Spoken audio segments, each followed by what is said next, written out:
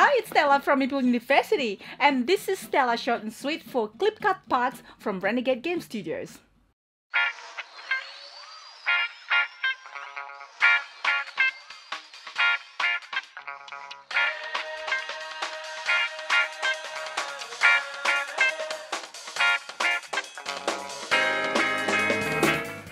The city needs your help.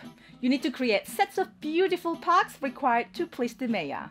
The game plays 1 to 4 players with mechanics such as dice rolling and not roll and write but roll and cut. The game is of light complexity. In clip cut parks, you need to fill 5 park cards with pieces that you cut to make up the parks. Each player starts with a park sheet and 5 park cards with 2 parks face up at the time. At the start of the round, one player rolls a die and that determines how many cuts and how long the cuts you can do on your park sheet that round.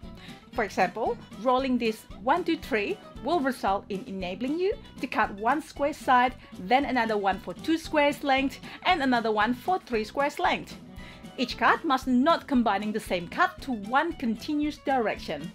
So the idea is to cut the right shape of what's required of your park cuts. Some areas have requirement of colors or connected squares, other requirements of Simple. The game ends when at least a player is able to complete their 5 park cards, which the player wins. This game is almost a different take from roll and write. You cut instead of marking off your sheet. You cannot undo what you have cut. If you cut something off your park sheet, you must use it. You can't further cut the piece. And if you can't use it, you just crumple it and keep it. This is for tiebreaker.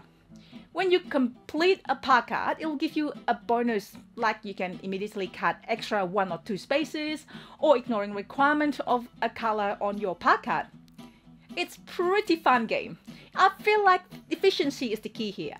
If you like individual puzzle with time mechanics that triggers when someone completes all their 5 park cards, then this might be for you.